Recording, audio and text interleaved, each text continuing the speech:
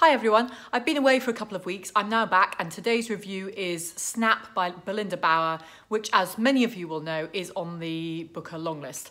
Um, I have a couple of things to say at the outset and then if you don't like uh, reviews that tear books apart, then this is not a good place for you to be. So a couple of things. I have nothing against genre fiction. Uh, there is a lot of genre fiction I like.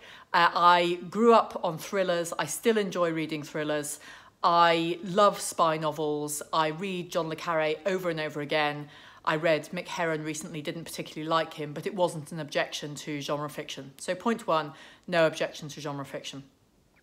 Point two, I don't particularly object to having genre fiction on the Booker list either.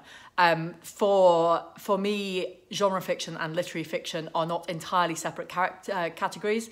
They can entirely overlap, um, and I don't have a problem with that. I don't yet know what my view is on having a graphic novel on the Booker long list, but having a crime novel on the Booker long list is not something that I object to in principle. That said, this book I really did not think should be on this list.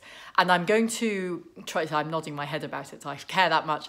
Um, I'm going to try and be fairly rational about that. But I, before I start, I should say I'm quoting from um, copy on my laptop because I left my, I, I left my paper copy somewhere. And the person I left it with said to me, uh, would you like me just to throw it in the recycling? Because I had been so brutal about it as I was reading it, parts of it aloud, uh, that recycling seemed the obvious thing to do. I've never yet recycled a book, but this may be the first time I do that. I'm not sure I could inflict it on anyone else. So, I understand perfectly well that there is such a thing as generic convention. Um, there are certain expectations in a genre novel which the author has to fulfill in order for the readers to be satisfied with what that novel is. I also understand that the writing of a good uh, genre novel is often taking those conventions and twisting them a bit. And one thing I've been thinking about a lot as I've read this year's Booker list so far, I'm now five and a half books in, um, is what is it that makes a good novel? So one thing that may come out of what is not being a good book a year for me so far uh, is I will have a lot to say about what I how what makes a good novel and um, why ultimately a lot of these novels for me have not been good. But um, generic expectation. Um, so there are certain things that are typical, uh, are often the case uh, in crime novels. There is often a detective who has just been kicked out of his job somewhere, is out on his ear, who wants to prove himself. That detective is often hard drinking. That detective has often had a relationship which has broken down recently. That detective often has a particular case which is there in the back of his mind which he can't shake. I understand these are generic conventions. They are also cliches. This book has every single one of them. So it starts off by ticking a whole range of boxes uh, that um, that are no surprise to anyone. I sort of could accept that, um, but uh, but given the other things going on in the book, it really began to grate. So the very least I expected of this book was that it would have a really good plot. It has been hailed as a fabulous crime novel. Um, for me, the plot, let's start with the good things. The plot basically worked. Um, I found the first hundred or so pages not compelling, even from a plot, plot, plot point of view. I can't even say it. Um, but by the time I was about half of the way through, I was interested to find out how she would unravel the plot. Um, it was not entirely predictable, or although parts of it um, I guessed some distance before it actually happened. Uh, in general, the things that uh, were the critical uh, determinants of um, the unravelling uh, were things that had been mentioned fairly early on, which I hadn't particularly noticed at the time, um, and they weren't some sort of brand new idea thrown in at the end that suddenly and miraculously solved everything, but we had no chance of working that out in advance. So, from a plot point, plot point of view, I still can't say it. Uh, this book, I think, I think works. Um, what I found tedious and depressing uh, about it was the level of cliche and the low quality of the writing throughout the book. And I'm going to, it's a little bit unkind of me, uh, but I'm going to quote bits of that because it's easy to point the finger at a book that's um, I don't like and say I don't think it's any good and I don't think it should have been on this list. It's slightly harder to explain exactly why that's the case. And also some of these examples I think are really hilarious and I'm not sure that they were um, meant to be. So let's jump in. So this is the opening page of Snap, Belinda Bauer, Booker Longlisted 2018. 20th of August 1998, incidentally shortly before I started university. It was so hot in the car that the seats smelled as though they were melting. Jack was in shorts, and every time he moved his legs, they sounded like sellotape. The windows were down, but no air moved, only small bugs whirred, with a sound like dry paper. Overhead hung a single frayed cloud, while an invisible jet drew a chalky line across the bright blue sky. Sweat trickled down the back of Jack's neck, and he cracked open the door. Don't, said Joy. Mum said stay. I am staying, he said, just trying to get cool. It was a quiet afternoon and there wasn't much traffic, but every time a car passed, the old Toyota shook a little. When a lorry passed, it shook a lot. Shut the door, said Joy. So this is completely passable, basically competent writing. It is, um, it's not overly frilly, it's very clear what's going on, um, but that does not make it good writing. Um, so the things that struck me as I went through with my close reading hat on. Um, sentence one, seats smelled as though they were melting. Sort of okay, but seats generally don't smell as though they're melting. They generally smell like rubber or um, like a substance that is melting, not as though they were melting. Number two, um, when Jack moves his legs, they sound like sellotape. I don't have an objection to that. I don't think it's a great image, but I don't think it's a terrible image. Um, the issue is the following sentence, something else, is also a sound like. So there's a sort of repetition in that, which would not pass any um, good writing definition. Um, where do we go next? Overhead hung a single frayed cloud. Single frayed cloud is fine. It's clearly attempting to create some sort of atmosphere, the single frayed cloud. Um, it's not exactly a novel way of saying anything. Uh, an invisible jet drew a chalky line. Okay, there are jets, they're sometimes invisible. Again, that's not an interesting way to say anything.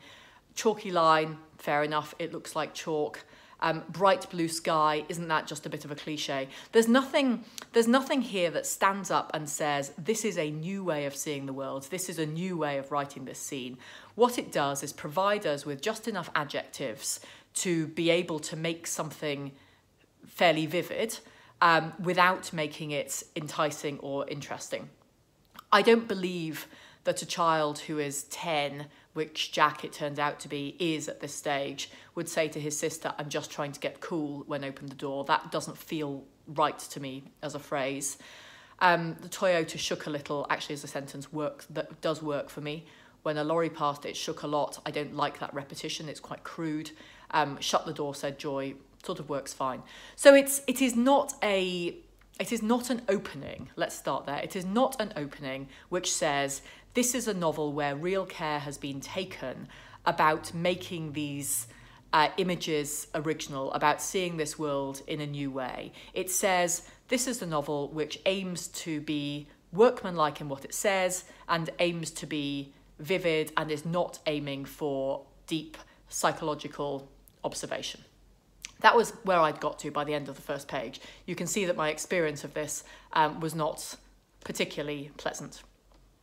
So let's get on to the psychological observation as we go through. So a lot of the novel is um, from the point of view of Jack, who is 10 at the beginning uh, and 13 um, in the later sections. This novel has been praised and is praised on its cover for its psychological observation. Here is an example of that psychological observation. Jack couldn't remember a time when he wasn't angry. It was always there like an itch sometimes mild and ignored, sometimes so big and sore that his slight frame could not contain it, and it burst like a boil, spewing violence and bitter hatred that left him hollow. For a short while. He always filled up again, easily and to the brim. He wished it would stop. He wished he could stop. Every time he woke up, still tired, in a stranger's clean, comfortable bed, he wished for a childish miracle that would turn back the clock to before the hard shoulder, which is where the novel starts. Sometimes he felt as if he'd never left that road, or that day, as if he'd been stuck there ever since his mother had disappeared, and everything that had happened since was a dream, a mirage, a fake life that he couldn't discover how to escape. Again, this is this is perfectly fine writing for a commercial novel whose primary purpose is to get people through the plot and through the tension as quickly as possible. I don't I don't deny that in the slightest. It is not and, and it's and it's clear and I know what's going on and it is it's easy to understand. Um, it doesn't attempt to really get into this psychology of this child. It doesn't attempt to go into in any depth what he's experiencing there are um, his mother has has disappeared. That's clear from page two of the novel. I'm not revealing anything terrible there. Um, he was ten at the time. There is the opportunity in this book to talk about or to to see from inside the um, mind of this child the deep psychological trauma that he has um, experienced, and instead what we get is a sort of it's almost painting by numbers. A child like this would have had nightmares, and therefore we have some nightmares. Um, a child like this would feel angry, and therefore we get what I think is an astonishingly pedestrian description of anger um, in the piece that I have just um, read out. A child like this would feel some resentment towards his younger siblings, whom he then has to look after.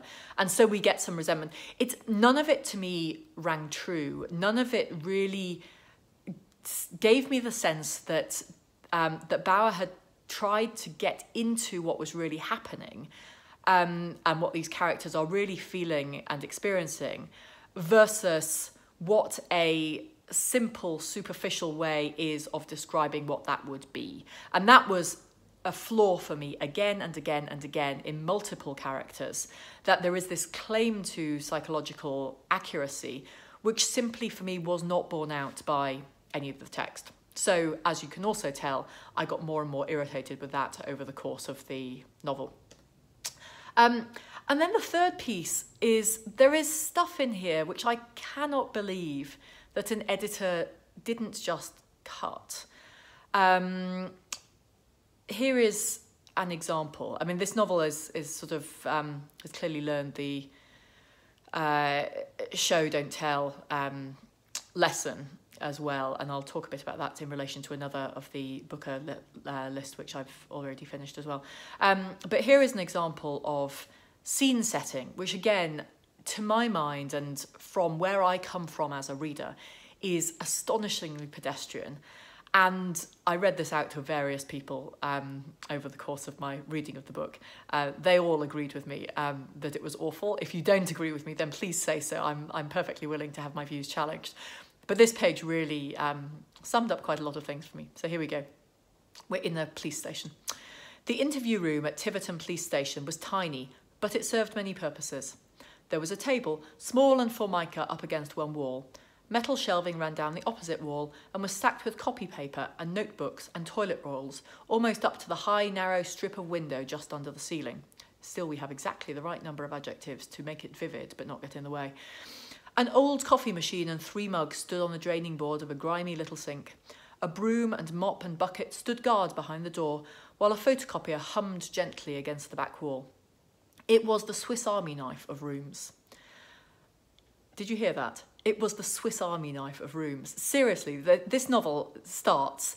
This room was tiny, but it served many. this uh, novel has a chapter which starts. This, no this uh, room was tiny, but it served many purposes. It was the Swiss Army knife of rooms. It's, it's an awful image. Even if it's meant to be funny, it's an awful image. And it's that sort of in a I don't know whether it's inability or unwillingness to search for an image which is truly telling and truly interesting versus in this case just bad or in many other cases hugely cliched, that I just found so frustrating with this novel. And I genuinely couldn't understand why it has been so highly praised. The plot worked for me, it was fine. I was a bit frustrated that there was a rabbit pulled out of the hat at the end, um, which uh, hadn't been foreshadowed in any way, and um, um, which therefore felt like a bit of a cheap trick. Um, but the, I mean, the plot was fine. Um, but what got me again and again and again was the writing is boring. The imagery is, this is all to my mind, my opinion. Um, so the writing is boring, in my opinion. Um, the imagery is pedestrian. The cliches are all over the shop in the writing style, in the imagery, in the psychological observation. Um, and it's an interesting subject. A child who has to live uh, through in, from age 10 to age 13 after his mother has been uh, snatched away um, is an interesting subject. There is a huge amount that could be said about this, and saying that within the context of a an exciting plot um, would be potentially a fantastic novel. And I could absolutely see that novel as being entirely justifiably on a Booker long list, indeed on a Booker short list, indeed winning. There is nothing about this being a crime novel which makes it a bad novel. That said, I think this is a bad novel. I don't think it should have been on this list. Um, and I cannot think of any justification for it being on this list other than, I don't know, we should put a crime novel on because then it will show that we're in touch. Um, that's it. I'm stopping there. I've gone on far too long. Um, tell me whether you agree, disagree. Um, I'm going to come back with my next book of review more quickly than I came back with this one. I'm one and a half books further along the list than my videos would suggest in terms of my reading. Um, and so I'll get those out. But I am I'm not enjoying this list. Let's put it that way. I am not enjoying this list. I have not got to the Ondaatje yet. I've not got to the Richard Powers yet. I think there is significant hope for both of those. I am not enjoying this list.